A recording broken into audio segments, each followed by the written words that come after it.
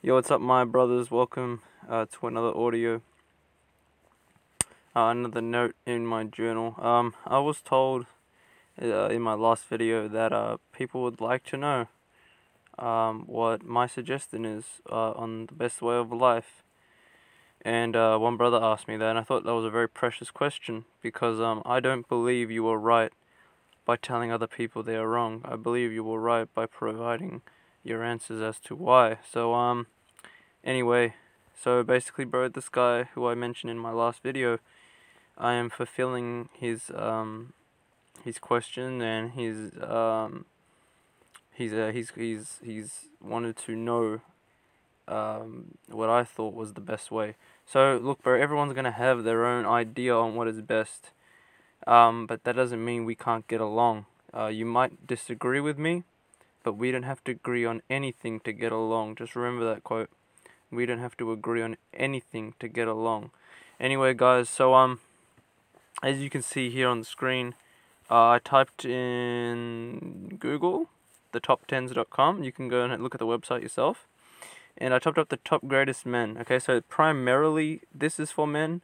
Uh, a couple of sisters might come across this, uh, but this is for men. And the reason we say brothers and sisters is because we this idea that we are all one is very true. Uh, we are all one in the sight of God, brother and sister.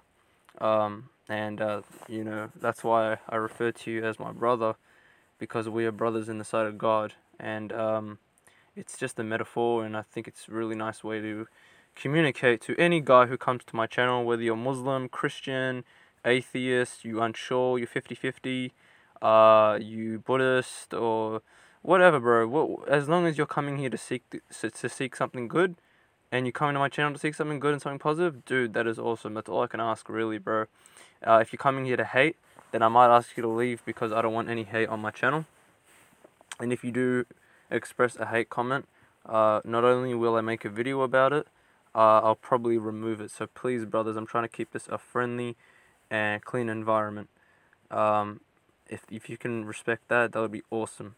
And uh, another thing as well, bro, whether you're African, uh, Australian, uh, I don't know, Asian, Jewish, whatever, bro, whatever walk of life you're from, you're more than welcome to seek something good and to join me in this video. It kind of makes it easier that way so we're not all chopped and divided just because we disagree. Anyway, as you can see, the rainbow was one, but it's different colors. So anyway. Uh, so guys, my suggestion is, and in my belief, of course I am a Muslim, uh, for those of you who didn't know, I follow the Islamic belief, and I've chosen to follow the Islamic belief, and as you can see here, bro, there's a man on the screen who comes up as number one on the top 10 greatest men. Uh, his name is Muhammad, and uh, when we refer to Muhammad, we say peace be upon him, out of respect. Um, also, when we say this guy's name, who's the second man, uh, there he is. Jesus, peace be upon him. So there's Jesus there, the second greatest man on the top 10. And uh, we say peace be upon him out of respect as well. So we're going to go to the first man here now. And uh, so I'm going to I'm gonna uh, create a series around this guy, uh, Prophet Muhammad, peace be upon him. And uh, hopefully you guys can uh, gain whatever you can, bro. You take it or you won't take it. It's absolutely fine. And I'm not here to convince anyone of anything. Um, as we learn in our religion, we are here to remind, not to uh, dictate. And uh, uh, basically, bro, um, I'm just going to discuss with you a little bit of why I went with Prophet Muhammad, peace be upon him. Uh, why not any other man? Look, bro, I'll be straight up with you. You know, I didn't really have a strong father figure growing up. I uh, really didn't have an older brother. Uh, he passed away when I was 10. God bless him. and God bless anyone who has lost someone. Um, but basically, bro, I never really had that role model in my life. You know, I, I looked up to rappers, I looked up to sports stars, and, um, you know, nothing really fit the deal. You know, all these men were just known for something they were good at. And, um, it just wasn't the best way for me. You know, Eminem isn't the best role model, Michael Jordan isn't the best role model, but they each have something you can take away from them. But, but a role model of such would be this man. So this man is our role model uh, in Islam. This is the man we we look up to to uh, um, mold our life around, mold our character around, because he is the we we believe because the Quran taught us that he is the best of mankind. Uh, in the Quran, uh, they described Muhammad peace be upon him as the best of mankind and an example for mankind. So if we follow his example, then that is a success in God's eye. Anyway, bro. So why this man? Well, number one, bro. He's the uh, the top ten greatest man in the world. He came up as number one. So uh, if he is the greatest man in the world, should we not want to follow his ways? And uh, as you can see here, uh, from uh, 570 AD to 603 AD, he was a Arabian prophet, and uh, he was the last prophet of all the prophets. So whether or not you believe in God, bro, I'll just give you a little bit of quick backstory. You probably heard this a hundred times, but uh, you know, there's Noah, Isaac, and Joseph, and um, you know, Abraham, and Jesus, peace be upon them as well, and peace be upon them all. So he was the last uh, of those prophets. He was the seal of the prophethood. And uh, it says here he was an important historical figure in the world. And uh, here we have a, a, a bloke called Michael Hay, Michael H. Hart's, uh, Hart. So he wrote a book called The 100. And uh, this is what he said about him. Um, he said many great things in his life. He always thought of others. He loved and died poor. He didn't seek revenge.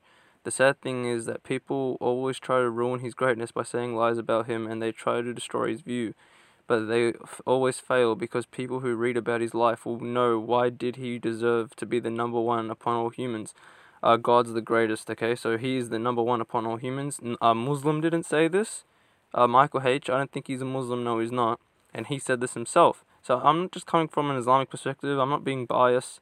A non-Muslim is saying this, okay?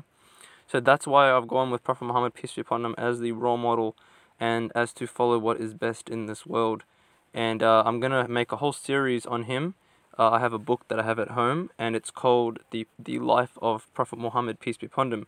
And uh, this is the man who I try to follow because he is the greatest man of, of all mankind uh, from among us.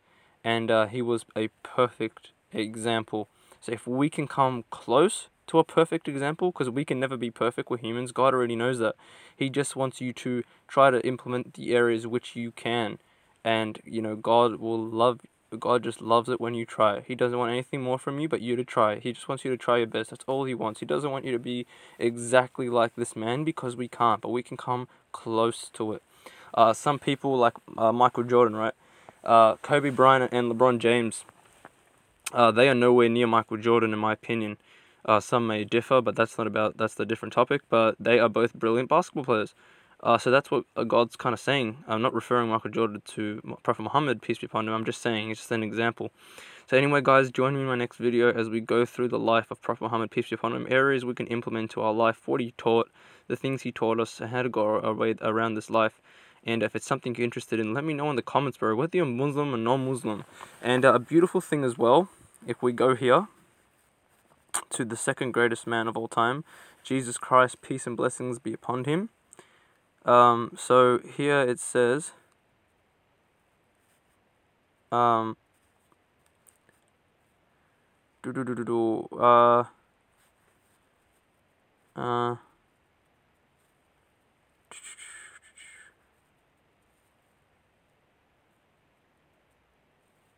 wait a second, there was an area here that uh that stated.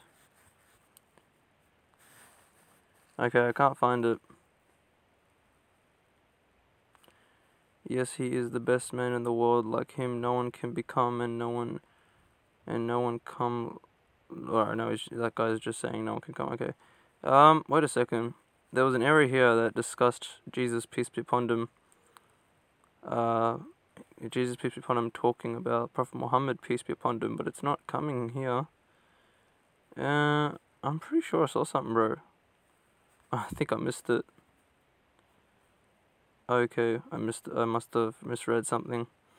But anyway, bro, uh, we believe as Muslims that Jesus Christ, peace be upon him, was a prophet of God, a messenger of God. And uh, in the Bible, uh, Jesus, peace be upon him, is referred to as the Son of God. And the Son of God was a metaphorical term given to someone who was close to God. Uh, it, it says that in the Bible. And you can see down here, whoever this person is, uh, doesn't. I don't think this person understood it very well. Uh, this person says he was both man and God. According to the Bible, he's God alone. So that that doesn't make any sense, because if he is God alone, then uh, who was the God he was praying to? Who's the Father? If he is God alone, then who's the Father? Uh, you know what I mean? Um, this is why we believe that Jesus, peace be upon him, was a prophet, because he said himself, I came here to fulfill the laws of the other prophets, to worship one true God, and um, mm, here, okay. This is this is why we believe he was a prophet and not a god. Jesus is 100% God and 100% man, so he can easily qualify for the poll. Alright, so first of all, uh, if you're a God 100%, then you cannot be man 100%. Uh, it just doesn't work like that because God's nature cannot change. Uh, God cannot be two things at once. God cannot be his creation. In the Bible, it says God's nature doesn't change. And uh, you can see here, if, if, if he's a man, 100% man, if he's a hundred, it says here that he's a 100% man. You can see that, right? Okay, so he was a 100% man. I'm a 100% man. If you're listening to this, you're a 100% man. Now, how can me and you be a 100% God? We just can't be. If Jesus was a 100% man like us, how could he be a 100% God at the same time? You just can't. If he was a, if he was a 100% God, he would have been a 100% like God, and he wasn't. He was hungry, he got hurt, he cried out to God, he uh on the cross, you know, he was calling out to God, "Why did you forsake me?" Um he wasn't all knowing. Uh basically, he does he wasn't a 100% God and uh, he never claimed divinity, and uh, he never claimed out of his own lips, "I am God." Uh, a lord is different to a god. Only God gets the title God, but the Lord is a title that people can attain. You know, Lord is a title that people get who have a, immense leadership, immense respect, but only God can get the uh, title God. And never once did Jesus, Jesus say that. And you can see here, it's saying he's a 100% man and 100% God. And so that doesn't really make sense. As you can see, bro. Um, otherwise, bro, us Muslims, we love Jesus uh, as much as all the other prophets, peace be upon him. He simply was sent by the Father to deliver a message. And the Father was Allah, was the one true God, the God that he said to worship. Because Jesus had a God, bro. This is what I want Christians to understand. Look, if you're not going to listen to me, agree with me, it's perfectly fine, bro. But Jesus had a God, bro. Jesus had a God, and the same God that Prophet Muhammad, peace be upon him, had. They both had the same God, and uh, that that that's what uh, Christianity, you know, goes a bit wrong there because people starting to believe Jesus was God himself, uh, because he had a lot of things like he had he had different abilities, even though he said the power comes from my Father, and uh, he didn't he wasn't born with a father, but in the Quran, uh, God explains how he was born uh, God says all you have to say is be, and it is. So that's how Jesus, peace be upon him, was born. Uh, Jesus, peace be upon him, isn't an actual son of God. Uh, in, in, in Islam, we call this blasphemy because you're claiming that God begot a son.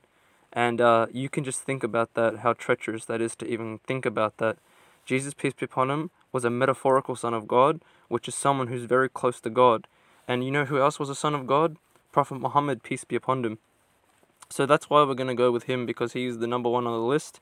Uh, like I said before, bro, join me as we go through the series. God bless, and I'll see you guys in the next